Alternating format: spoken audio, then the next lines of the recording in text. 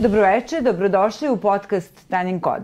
Večeras imam zaista izuzetnog gosta, ali pre nego što vam ga predstavim, molim vas da pritiskom na crveno dugme ispod videa i malo zvono pored njega postanete stalni pratilac ovog kanala. Hvala vam.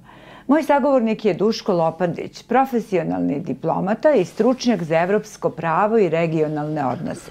Doktorirao je na Sorboni.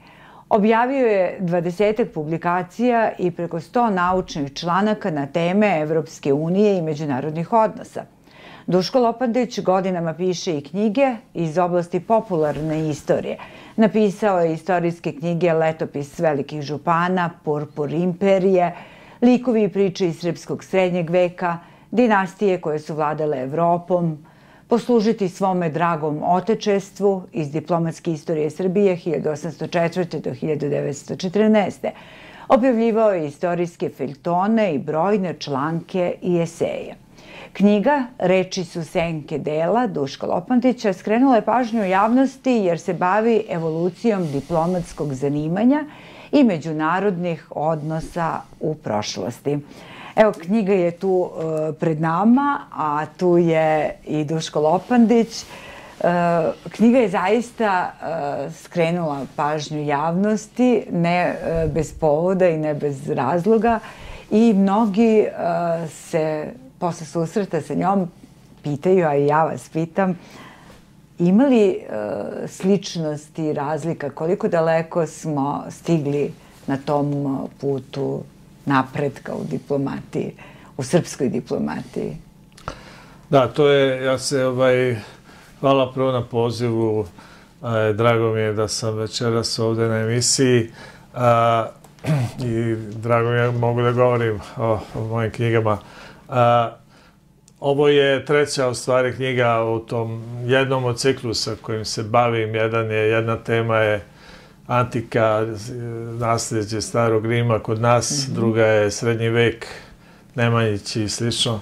I treća je diplomatija u širem smislu. Napisao sam dve knjige koje se bavile a, srpskom diplomatijom i ovo je, a, tako da kažem, dopuna, zato što je ona prvenstveno usmerena na priču o o, o diplomatiji i, i o diplomatama, ljudima koji se bavili diplomatijom bez obzira ko su oni bili da li su bili zaista profesionalci. Naravno, u prvim vekovima e, diplomatija, ako govorimo o, o toj jednoj vrsti profesije koja je nastala u renesansi, zato počnemo od Machiavellija. Mm -hmm. ovaj, ne možemo ipak govoriti o pravoj profesiji. Radi se ili o plemićima ili o sveštenim licima, radi se o državnicima koji su prosto se bavili pregovorima. Tu je priča recimo i o Mehmet Pašu Sokolović kao državniku koji je pregovarao sa mletačkim takozvanim bajlima i slično.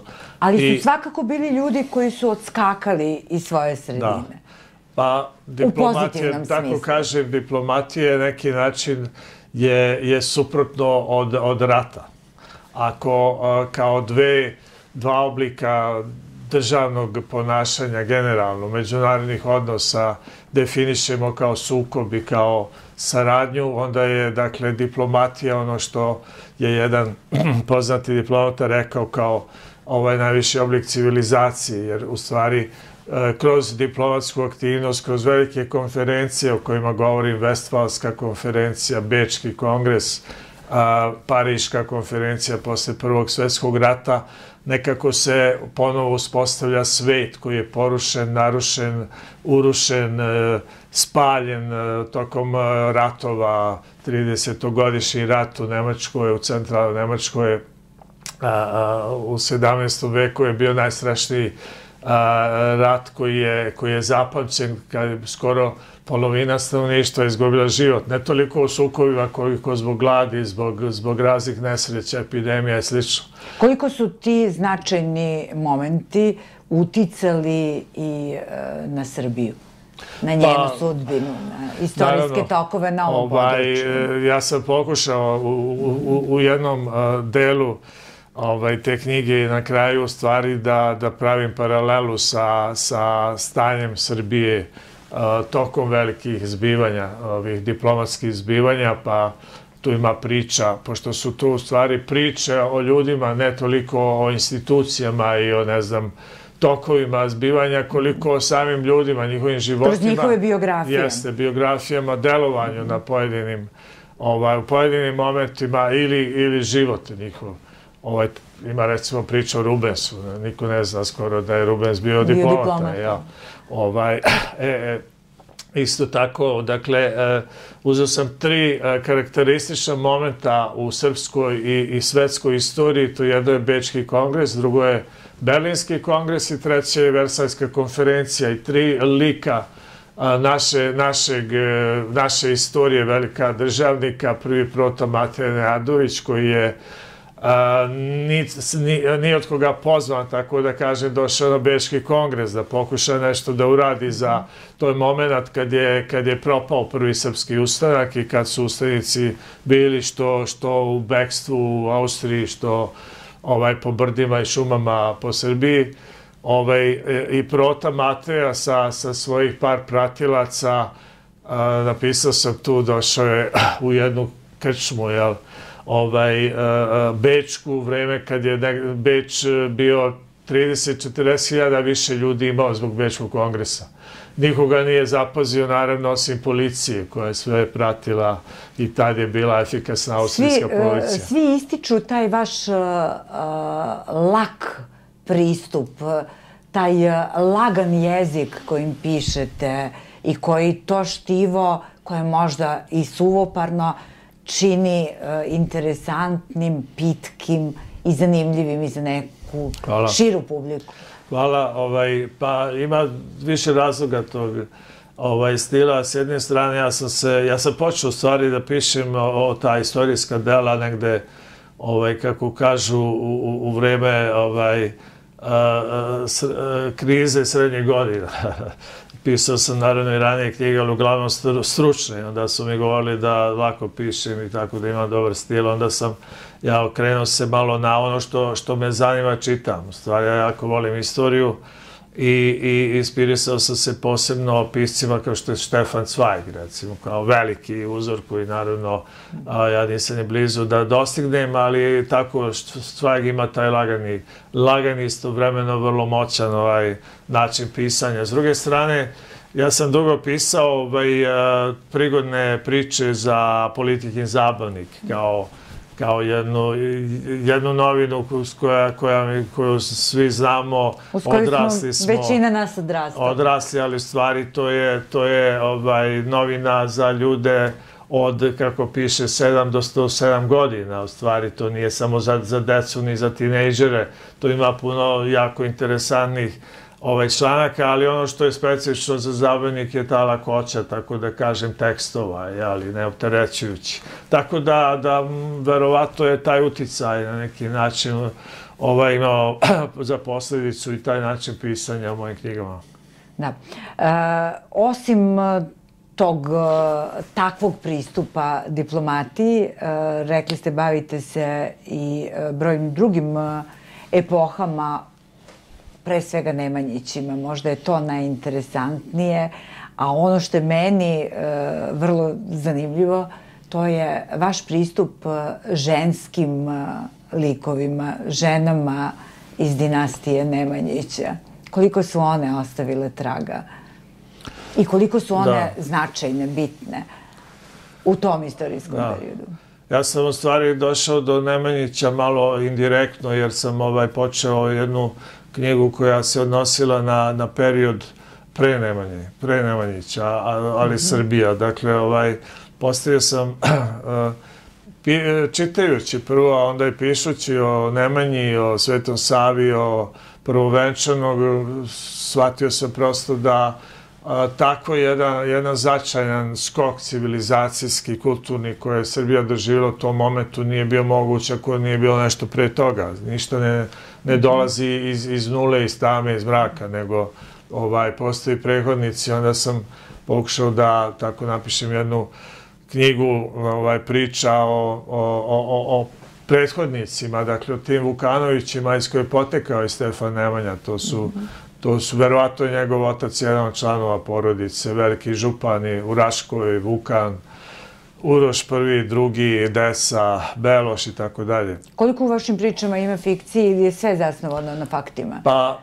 da, tu sam, to je, kako bih rekao, ovaj, vrlo značajno i zanimljivo pitanje, zato što, mislim, nažalost, ovaj, naša istorija je, ovaj, ima jako malo, taj period, izuzetno malo pisanih dokumenta. Dakle, ima nešto ovaj, e, arheoloških otkrića, naravno, ima nešto indirektnih Uglavnom su indirektna svedočenja o Srbiji, najviše u, u, u, u spisima vizantijskih pisaca, Ana Komnena, čuvena princeza, čerka Alekseja, cara Alekseja.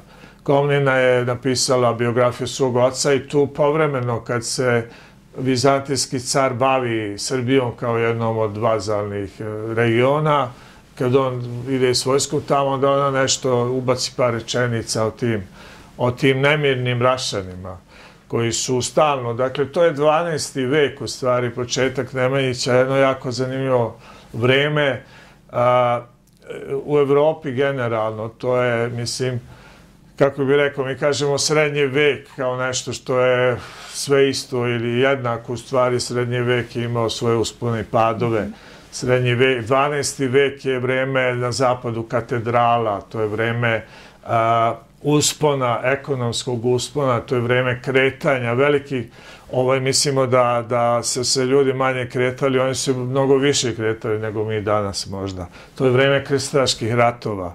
Čak sa zapada odlazili su do Jerusalema preko, preko naših krajeva, pa su ovaj, ostajali godinama, pa se vracali. Sve to negde je zapisano i u stvari ja sam pokušao da, da, da obnovim tu priču, da rekonstruišem u kontekstu, dakle, čitajući ne samo direktno, dakle, istoriju Srbije, nego istoriju i zapadne Evrope, i krstaških ratova, Vizantije i tako dalje, onda ovaj e, cilj uh, uh, pisanja istorije u stvari da da prvo autor da dođe do, do neke do neke do pokuša da rekonstruiše svest tih ljudi koji su potpuno, bar za srednji vek, potpuno drugačiji zato što su izuzetno bili, s jedne strane izuzetno ovaj, a, a, su, su verovali, dakle, bili su posvećeni veri, a s druge gotovo fanatično, jel? to više nema takvog odnosa prema, skoro da nema danas prema, prema veri, prema Bogu, a s druge strane to vreme i nasilja, i jakih emocija i tako dalje. Što je vas najviše iznenadilo u tom suočavanju sa, pa, sa tim recimo, ovaj, podacima? da, interesantno je kako, koliko može u stvari, bez obzira što nemamo ovaj, neku kontinuiranu priču, jel, nemamo naša dokumenta, arhive su davno, arhive Nemanjića i, da ne govorim onim pre njih, su davno nestale, propale, osim ono nešto malo po manastirima što je ostalo kao ove hrisovolje i slično. Ali može da se rekonstruišu recimo svaki od prva četiri pohoda na na ovaj, ka Svetoj gori, krstaški rat je, oni su na neki način prošli preko naše teritorije. Imamo i e, vrlo zanimljive priče o, o, prvo, o krstašima prvog e, krstaškog rata koji su napali na Zemun, tad je Zemun bio mađarski, a ovaj borbama oko Zemuna i slično, prelasku u Beograd doživljaje kako izgledala tadašnja taj prostor koji nije bio prostor Srbije, ali jeste današnja Srbija, šume, ovaj, mračne šume kroz koji su oni prolazili i slično. Ovaj. Tako da, ovaj, sa, sa, tih, sa tim malim podacima i sa tim kontekstom onda stvarate neku priču. Ima recimo neke stvari koje se jako malo znaju kod nas, da smo imali tu princezu Jelenu koja je bila kraljica Mađarske jel, u, u 12. veku udata. Vrlo jedna zanimljiva, dramatična priča, tipična za srednji vek, udata za jednog slepca, taj njen muž ovaj, je bio oslepljen ovaj, u tim dinastijskim borbama u Mađarskoj, ali pošto su tada Srbije u stvari jako bliski Mađarima, dakle te veze između naših e, vladarskih dinastija, Uroš recimo, ime Uroš potiče iz Mađarskog. Mm -hmm. ovaj, onda, Eto, to, to je malo poznato. Jeste. Ovaj, Jelena je bila udeta za tog belu slepu koji je e, sticajem okolnosti postao kralj jer je jako neobično za to vreme da slepac bude vladar. Vladar je u to vreme mora se prvo tuče, mora da bude najjači, da vodi vojsku, da ovaj predvodi, dakle kad oslepite nekog, to je, to je rađeno u Vizantiji, on je izbačen, da. tako da kažem, iz konkurencije. Kako bi rekli danas iz političke konkurencije, ali u tom momentu se desilo, dakle, iz raznih razloga, malo podrška Vizantije slično, a malo možda i podrška tih srpskih rođaka koji je Bela imao, pa je njegov taj Jelenin brat Beloš postao palatin, to je, to je najviše zvanje na Ugarskom dvoru, dakle ono što bi rekli predsjednik vlade danas, ovaj glavni, glava, ovaj vođa vojske, koji je bio ban Hrvatski, tad Hrvatska je pripadala, tako jedan Srbin bio ban Hrvatski, to se ne zna isto, ali u tu onim ranim vremenima, još kad je Hrvatska potpala pod, pod Mađarsku, taj, taj Beloš je kasnije jednu kćerku poslao u Kijev, udao za velikog kneza kijevskog. Dakle, ovaj, e, pre Nemanjića ti, ti naši vladari su imali veze sa porodične, sa, sa ne, neobično udaljenim ovaj, prostorima u Veneciju, jedna ovaj, je bio jedna bračna veza sa, sa Venecijankom, pa onda, ne znam, u Češku i tako dalje. Ovaj, to je, recimo, nešto što... Znači nisu neosnovane te pretpostavke da svuda ima tih srpskih e, gena i korena. Da, da, kad ste pitali o, o, o ženama, dakle, ovaj, možda bi počeo sa tom Jelenom, koja je tako kraljica Mađarska bila, mm -hmm. ovaj, a, ono što je da, na, na ovo što sam već rekao priču o tome kako malo ima dokumenta, još manje ima, do, još ima dokumenta o ženama, nažalost.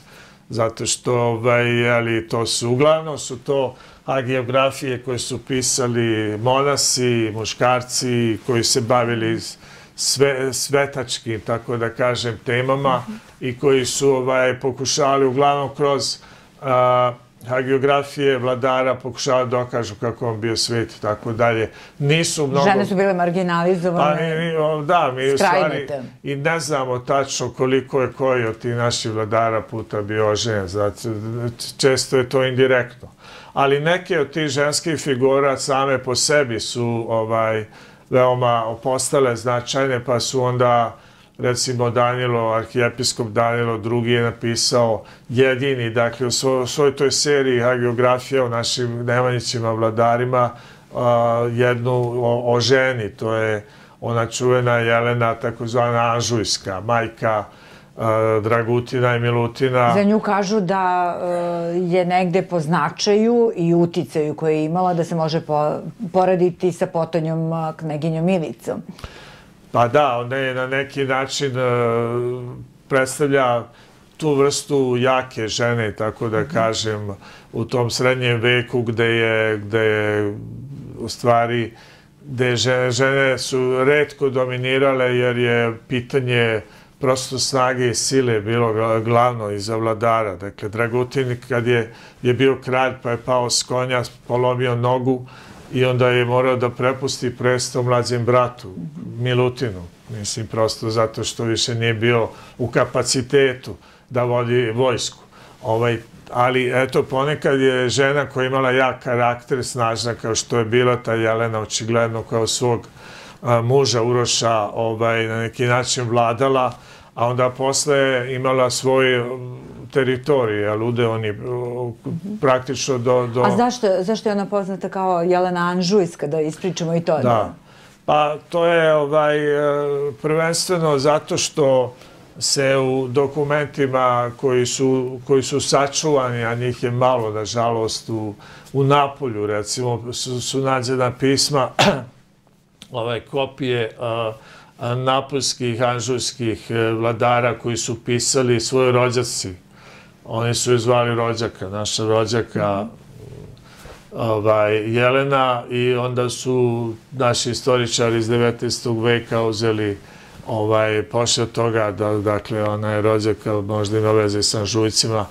A, ima tu raznih teorija kog je porekla Jelena, ona je očigledno povezana sa... Anžujci su inače ovaj, to je mlađa grana francuskih vladara, KP, dinastije KP, isto kao što su i carigradski latinski carevi u onom periodu kad su Latini osvojili Carigrad pa su vladali nekih 60-70 godina Carigradom, to je bila jedna porodica, zvala se Courtenay i koja isto imala vezu sa, sa francuskim vladarima.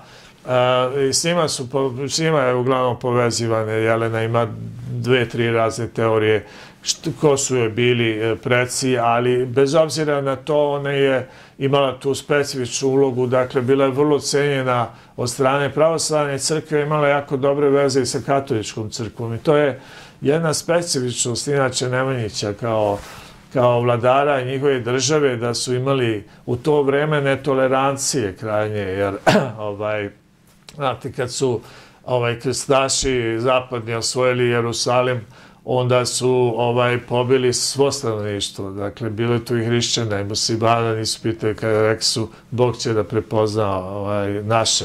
ja sada slušam vas i sve vreme imam slike uh, u glavi. Jeste razmišljali da ekranizujete nešto od toga? Pa da, to, je, to su interesantne teme ovaj, koje, o koje naravno bilo je tih pokušaja ekranizacije mm -hmm. ja ja sam ovaj, isto tako ovaj, bio zainteresovan naravno da, da se uključim. Recimo, ovaj period, eh, taj vreme pre Nemanjića, jel, o Nemanjićima je već bilo pokušaja ekranizacija. Kako ih vi procenjujete, ocenjujete te pokušaje? Pa da, ja sam gledao onu seriju, prvu epizodu i nisam ovaj, nastavio tako u nekim, u ne, nešto malo sam mhm. kasnije ovaj, neke scene, ali Ovaj, nažalost, a to nije toliko uspelo, jer ima neki dokumentaraca koji nisu tako loši, čini mi se, ovaj, u vezi sa, sa srednjim vekom. Međutim, ovaj, na svakom uglu naše istorije ima puno tih e, novih stvari, interesantnih, koji ljudi ne znaju, koje su, mogu da budu zanimljive. Tako da, da. sigurno da ima tema za ekranizaciju. Istorija i naročito vaš e, taj pomalo i romantizovan e, pristup svemu tome deluje bajkovito i lepo.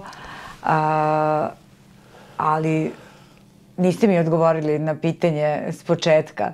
Rekla sam, vi ste karijerni diplomata, bili ste da. i e, naš ambasador e, u Portugalu, poslednje nameštenje bilo je u, bili ste naš ambasador Brisel. E, u Briselu, da. predstavnik u Evropskoj uniji. Da. I od tada uh, ste ovde u Beogradu, sada sa te pozicije pratite ta dešavanja. Da. Pitala sam vas uh, koliko toga uh, bi moglo da, da se poredi sa tih nekih perioda uh, početka naše diplomatije i uh, sada do ove tačke na kojoj smo. Pa, diploma... Koliko smo daleko stigli? Gde smo? Da. Diplomatija je ovaj, i, i, i državništvo, dakle element državne politike, naravno. Što je manja zemlja, to je važnija diplomatija, s jedne mm -hmm. strane a diplomatija je profesija. Dakle, zavisi ovaj, u stvari o čemu, čemu pričamo. Kad se radi o profesiji, o čemu sam ja donekle ovaj, govorio u ovoj knjizi, reč su senke dela, ovaj, ona se naravno menjala u 19. veku, to je još uvijek mnogo manje je bilo diplomata, ljudi koji se bavili profesionalno, jer su i državni aparati bili mali. Naša naša, naše ministarstvo, recimo, posle Berlinskog kongresa imalo desetak, 15 ljudi ukupno. Dakle, od, od ministra pa do vratara skoro. Plus, ne znam, desetak predstavništva. Posle Prvog svetskog rata ta diplomatija se naziva nova, nova, uh, nova epoha u diplomatiji, novi period i ovaj država raste, međunarodni odnosi a, jačaju razni oblici komunikacije. Ono što je naravno specifično za današnju diplomatiju, to je naravno ne, neverovata obrzanje komunikacija koje, koje se desilo i, i povezivanje između, dakle, a, one profesionalne diplomatije i javne, da. takozvane javne diplomatije. A pošto vi imate i tu moć e, imaginacije, e, šta mislite, kako bi reagovali Dučić, pa Ivo Andrić, sada kada bi mogli da vide kako to e, danas izgleda, bar sa aspekta da. naših predstavnika. Pa da, oni su ipak, e, u, njihovo vreme su se pisali, da, naravno, rukom izveštaji koji su bili vrlo dugački, koji su se mhm. slali ovaj, e, e, redko se, ti izveštaje su išli poštom, ja, poštom, ovaj, tako da, Dučić ima jedna, jedna anegdota za Dučića kad je ovaj, kod Mussolinija prvi put bio predstavljen a, Duče, ja, Mussolini je, je bio Duče, a Dučić je ušao u jednu salu, Mussolini je tamo na ogromna sala, znači na kraju ovaj, sale je bio sto, Mussolini je se okrenuo nešto. U to vreme odnosi Italije i, i tadašnje naše kraljevine bili su loši, uglavnom. I ovaj, Italija bila stalna pretnja ovaj, Jugoslaviji. Znamo da su oni organizovali ubistvo kraja Aleksandra. Ovo, ovo što pričam je ranije. Dakle, ovaj Dučić ulazi u salu i prilazi, Duče nešto posmatra, neku mapu, ne vidi ga. I ovaj, Dučić onako se nakloni i kaže, Duče, ja sam Dučić. Onda je on, ovaj, taj izveštaj napisao, kažu, ta, ta, ovaj, jedan dugačak izveštaj kao, kao priču. Ovaj, tako da su svi po ministarstvu to čitali kao neku ovaj, interesantnu priču. Ali na stranu ovaj, anegdote, uh, uh, Da, to sam htjela da kažem, tako je to kad razgovaram sa diplomatom koji vešta izbegava da odgovori ovaj, na pitanje. Pa ne, te, te, te, oni su bili u izuzetno teškim situacijama. Dakle, Andrića znamo kako je on bio. On je bio svedok i na neki način pasivni učesnik e, pregovora o, o ovih martovskih pregovora koji su doveli do potpisivanja onog trojnog pakta. ovaj, i pokušao je bez ikakvog naravno nade da uspe do ovaj da spreči aprilski rat. Bio je poslanik od Hitlera. Dakle, ovaj naj, najteže najteže situacije kao što sam u, u, ja sam tako da kažem ajde da malo pričam i o sebi. Ovaj 90 i početkom 90 godina bio sam diplomata u u Briselu. Ovaj, baš u vreme raspada zemlje i jako je e, teško, mučno, komplikovano bilo da se čovjek snađe u takvim situacijama gde vi od, od danas do sutra više ne znate ni, ni kako vam se zove zemlja, ni ko je nadležan da vam šalje neka uputstva i šta da radite uopšte, ja, koliko da preuzmete vlastite, u vlastite ruke neke, neke odluke, odgovornosti i slično. Tad sam bio takođe u Briselu, dakle ja sam da. imao više života u Briselu. Ali e, puno kontroverzi e, je bilo oko vašeg posljednjeg razrešenja u Briselu 2016. godine. To je ovako negde da. ostavilo traga Pa, da, I na vas je... lično, a i na te neke tokove, rekla bih, u tim uh, vodama diplomatske. Pa ja sad uh, s tom mom ličnom ovaj, doživljaju toga ne bih nešto mnogo govorio, ali činjenica da ovaj, to se desilo 2016. godine, od tad pa do sad nešto da smo napredovali, nismo mnogo sa Evropskom unijom, ovaj, naravno ne, nije mnogo bitno to da li sam ja bio ambasador ili ne možda ostaje, e, meni više veće zadovoljstvo sam bio ambasador kad smo počeli pregovore o članstvu sa Evropskom unijom.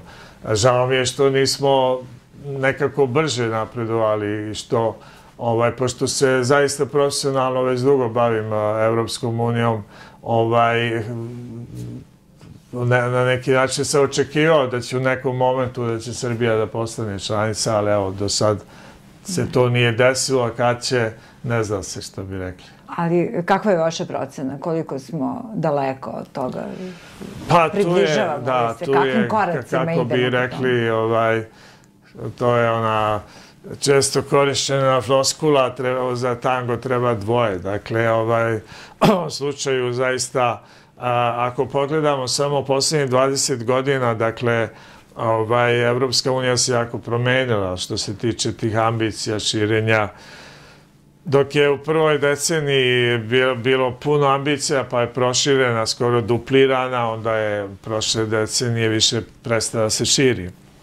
I proglašeno je na vreme ovog prethodnog predsjednika komisije, ona stanka, dakle, da nema širenja do daljeg, dakle, i ta, ne, ne postoji, dakle, unutar Evropske unije još uvijek dovoljna, dovoljna ovaj, spremnost da se, da se ubrzaju pregovori o proširenju.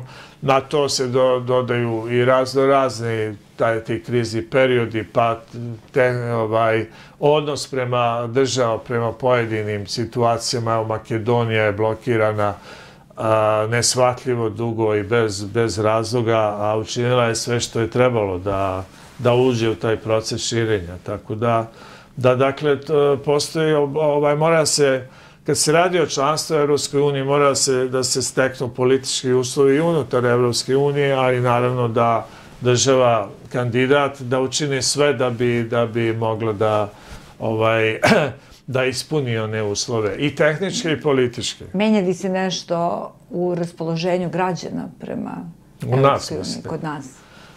Pa ja ne znam, ovaj, nijedna u stvari zemlja, ako izuzmemo Tursku, ovaj, nije ovoliko dugo, dakle nije se pričalo o, o tome da ćemo mi, evo, skoro sutra iza ugla je to članstvo. Mislim, ja to govorim iz, iz sobstvenog iskustva i onoga što, se, što je bilo, recimo, vreme tamo početka 2000-ih. Sećate se i sami, ovaj, a, ne samo naši političari da su Ovaj, ili, ja se sećam 2002. treća, to je bila uvreda kako vam neko se zapada dođe kaže nećete biti članovi 2010. još uvijek Evropske da. unije. Ja sam baš u tom periodu vas i upoznala na nekim edukacijama za novinare da. koji su se interesovali za taj proces. Pa evo, recimo... Ovaj, I nismo mogli ni da pretpostavimo. Da ali, e, da, ja se čak i lično sećam i zna, znamo da i one priče bit ćemo 2007. pa 2012. ali nismo samo mi to pričali. Tadašnji komesar, onaj finac Oli Ren je govorio o 2014. kao godini, kao simbolično, jel, godini kad će veći deo a, tog prostora bivše Jugoslavije biti u, uključen. A onda se desile razne stvari, a, mislim i na, kod nas, a i, i u svetu, posebno i ekonomska kriza i kriza sa proširenjem, pa posle migracije, Brexit, mislim, možemo da nabrajamo.